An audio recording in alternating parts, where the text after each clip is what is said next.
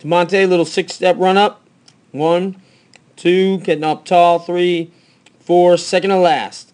Toe above heel, no reach. Flat contact, knows that's not on the heel. That's good. It's close. It lands whole foot. That's excellent. And then you get some give.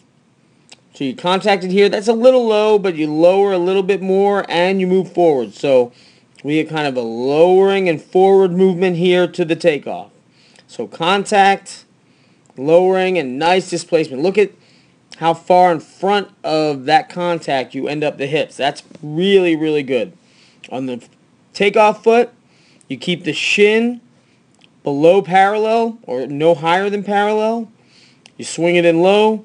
You prep the foot with the toe above the heel. You contact that flat again, very nice. And then no more really good displacement to move out and not up.